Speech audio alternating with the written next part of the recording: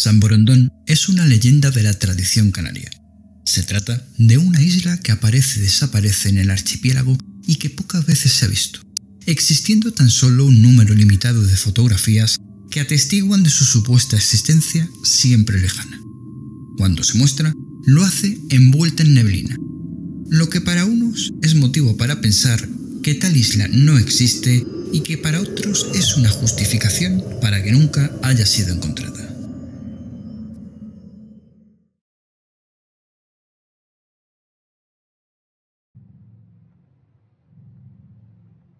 Un grupo de navegantes pudieron pisar San Borondón y aseguró que en la fina arena de la playa se pudieron distinguir unas pisadas que tenían el doble del tamaño de un pie humano. La isla inaccesible o la isla encantada son algunos de los nombres con los que se conoce a esta isla, recibiendo el nombre de San Borondón por el nombre del primer explorador conocido, San Brandán de Clonfert, un audaz monje y evangelizador irlandés que según se cuenta recaló en sus playas. Según los escritos de la época, en su estancia en la mágica isla, San Brandán descubriría que se encontraba en el lomo de un gigantesco pez en el que había crecido vegetación.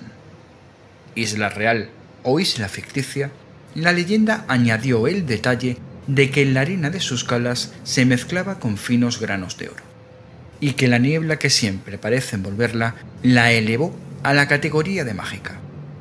Son muchos los marineros y exploradores que aseguraban haber visto su silueta en el océano o haber pisado sus tierras vírgenes.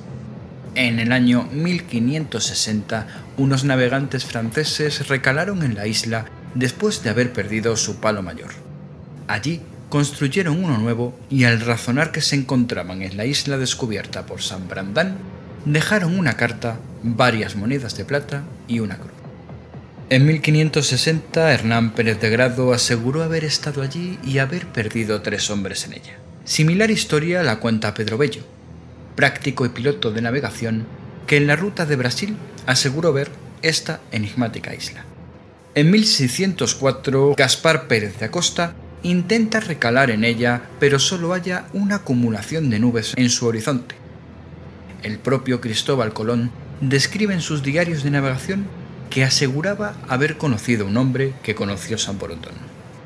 San Borondón, nunca olvidada completamente, ha estado imbricada en la cultura canaria, y testimonios de su avistamiento se han dado hasta bien entrados el siglo XX y el siglo XXI.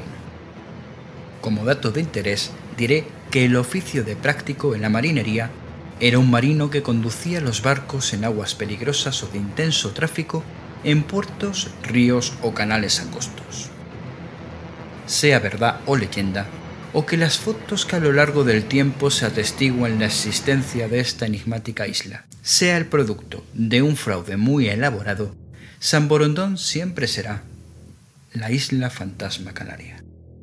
Si te ha gustado mi vídeo, por favor, dale like, suscríbete, dale a la campanita y compártelo con todo el mundo. Así me ayudarás a mejorar en mis futuros proyectos. Te espero en un próximo vídeo. Hasta pronto.